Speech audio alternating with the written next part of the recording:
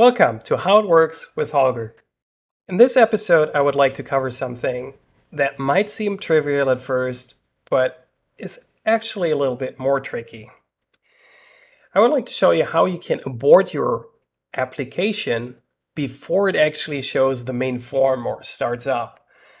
And I've seen quite a few approaches on the internet, and the problem is that you have to abort your application before the main form is actually being shown. The use case is this. Sometimes you just need to know if certain databases exist, if certain configuration files exist. As it turns out, more often than not, there is something missing. The requirements of your application are not being met. So you actually just want to bail out, stop your application you don't want to start. On the flip side, you also want to be able to show a message to the user hey, there is something missing. You just don't want to cancel your application and not start without giving information what is wrong. The whole thing turned out to be more difficult than I thought it would be, so I immediately thought, well, this is something that you need to present in how it works with Holger. Here's the concrete example. I have my Hurricane application, which you might have already heard about and it allows me to display tracks of hurricanes from a database. And right here, all the names of different hurricanes are being shown. And if I select a hurricane, I can then select the year and visualize the hurricane. There's a different video how to draw the track and everything. However, this requires the database to be there. So if the database isn't there, this main form can't be shown. And I'm quite sure you've seen it more often than not that you get database could not be connected to or error connecting to the database, could not open database file. And these are things that you don't want to present to the user. Actually, you want to show a dialog, database is missing, please reinstall or something, okay, and then your application goes away. That's That would be the ideal case. So Looking at this concrete example, I have the database right here. If I rename the database right here, pressing F2, like this, and start the application again, I get the error message, database file missing. It gives me the information what the application is looking for. Let's imagine you have a configuration file you might be able to configure the database file. So it is always good to give the information what the application is looking for. And it says application will terminate. Okay, that's it. At first, you might think, well, I think simply call application.terminate. But if you read about it a little bit more, application.terminate does not actually terminate your application. It just sends a message to the application. And in my case, the application started up anyways. The main form was shown. I just got empty combo boxes, no information that the database was missing, so not the ideal case. The solution that I picked might look a little bit scary at first, but it is also something that might help you for bigger projects because the biggest thing for me is with Delphi making changes to the DPR file, which you see right here, which starts with a program directive, can sometimes be a little bit cumbersome especially in earlier Delphi versions when you made changes to this file, adding units to the file or forms to the file led to garbled code in this file. So I rather not touch it. And this might look completely strange to you because if we go back, if we create a new VCL application, the DPR uh, looks like this. The application is initialized. You say that the main form is being shown on the taskbar, the main form is being created, and the application is being run. The problem is that you only want to create the form and run the application when all the requirements for your application have been met. And this is exactly what we're going to do by creating an app controller that will check all the conditions and then launch the application or simply not call application run, which means the application is terminated right away. Kind of like in the old MS-DOS Turbo Pascal days, when you simply reach the end period without doing anything. So here we're back in the project and you see I only have tappcontroller.run. So your Delphi skills should say right now, okay, this is the class tappcontroller, so run has to be a class method, a class procedure. Oh, well, that's exactly what it is. We have the unit uAppController, which is, of course, in the uses clause. And in, it defines the tappController class, and tappController has a public class procedure run. So that's all I did. And of course, as I want to create the forms in this unit, I need VCL forms. And in order to show the show message, in case there is an error, I also include vcl.dialogs. I also have some tools like system IO utils to find out if a certain file exists.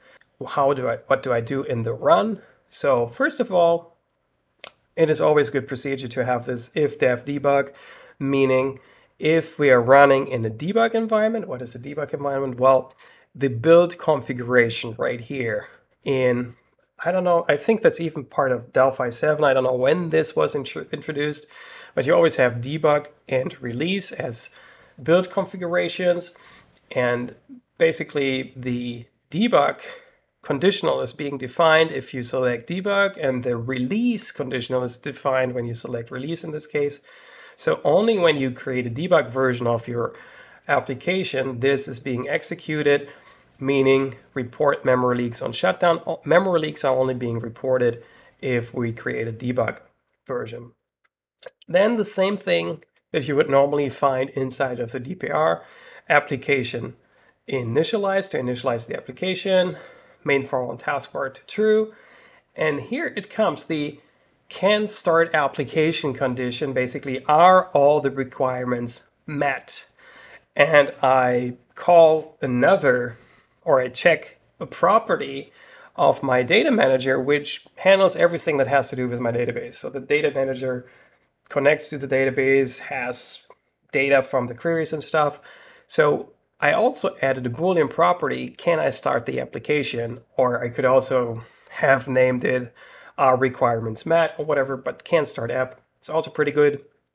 And they only when that is the case, I create the main form. I uh, this is also something tricky. Sometimes I assign additional um, classes, references to that main form because I no longer have the um, global variable, something also very important to mention. So if we go to the main form, the main form class no longer has the global variable that you normally find here. That really makes it necessary to define a variable where you want to use this form. And I think this should also apply to the main form or to any form. The first thing I do is remove the var. In this case, it would be var form main of type t form main. I remove that immediately. Um, and that way, I'm required to declare a variable for my form right here, and I pass it to the create form command. And that also makes it possible for me to pass additional references to that. Of course, I could also do this in the create constructor of the main form. I opted to do it here, and then I run the application. If my requirements are not met, I show the error message and I also get the database file name again from the data manager because the data manager knows best what its databases are. And of course, this is a very simple case where only have one condition. Of course, you could add additional conditions or you could add uh, the possibility to return an error message or something. The, the possibilities are endless it, it is just important that you check the requirements and if the requirements are met, you run the application. Otherwise, you don't run the application, you don't create any forms, you immediately bail out. And that way your application terminates uh, without leaving any remnants and also is being unloaded from memory right away. Looking at the T data manager real quick, how the method to can start is implemented. So can start app actually does nothing but check if the database file exists and the database file is retrieved from get database file name and get database file name, then looks for a default name.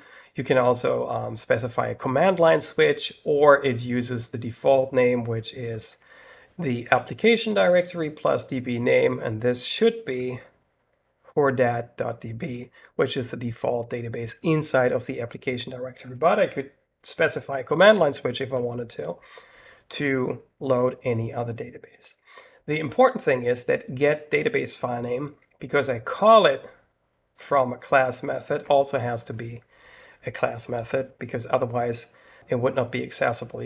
You can only call class methods from a class method because the, the object instance is not there. So you only have um, class methods available. So can start app can use get database file name because it's also a class function. And that's it. There's nothing more to it. If you see how it works, it's pretty easy. However, if you, for, for example, if you create the form before checking the condition and think that if you reach the end, that the VCL is smart enough to release the form, that's not going to work. The problem is going to be that you have a dangling form there because you don't call application.run. This form will never be cleaned up and the application will stay in memory forever. You actually have to kill the process manually and you notice these things pretty quickly when you try to recompile your application that it fails when it links because the executable is still locked and can't be written to. So it is very important one final time to only create the form when you call run because otherwise your form will not be destroyed when the program is completed. So one final time, check the condition first and only if the condition is being met, create the form, run the application. Otherwise, don't do any of that. Just show your error messages or whatever you want to do. You could also send a bug report or whatever, or um, notify your administrator, then end the application, and everything will work perfectly.